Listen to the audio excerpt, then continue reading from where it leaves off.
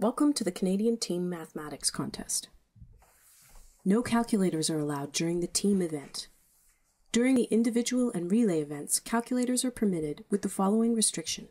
You may not use a device that has internet access, that can communicate with other devices, or that contains previously stored information. For example, you may not use a smartphone or a tablet.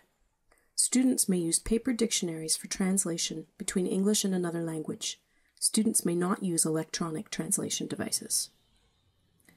During the team and individual events, please ensure that all answer sheets are filled in with names.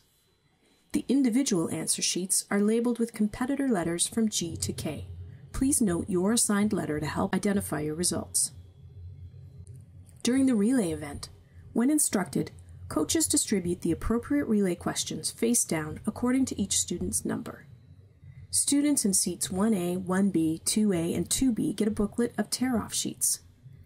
Students in seats 1C and 2C get an answer form, and note whether you're on relay team 1 or 2. As students complete their questions, they will pass their tear-off sheet as follows. From seat 1A to seat 1B to seat 1C, and from seat 2A to 2B to 2C. Students in seats A and B should pass only their final answer, not their calculations. Students in seats B or C can begin working on their questions, but will need an answer from the previous student before they can complete the question. The acronym TNYWR, the number you will receive, indicates the answer from the previous student. For example, here's a past relay problem 0 for seat 2C. It begins with let T be the number you will receive. The student is asked to find the intersection point of two lines.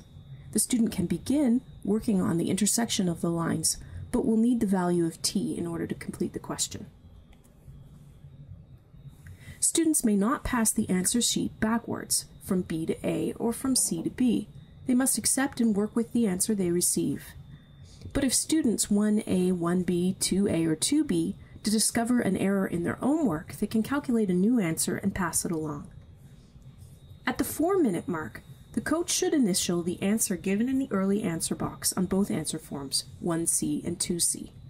If no answer was written, the coach should strike through the early answer box. After the four minute mark, a student in seat C may mark only the final answer box.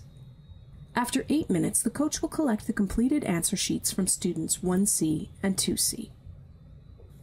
For each of seats 1C and 2C, Scores are as follows according to whether the answer in each box is correct, incorrect, or blank.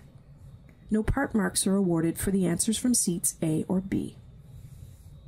Relay Zero is a practice run that will not be scored. It's a chance to try the logistics of the relay. It can be run giving two minutes for the early answer and one more minute until the final answer mark. Good luck with the contest and enjoy yourselves.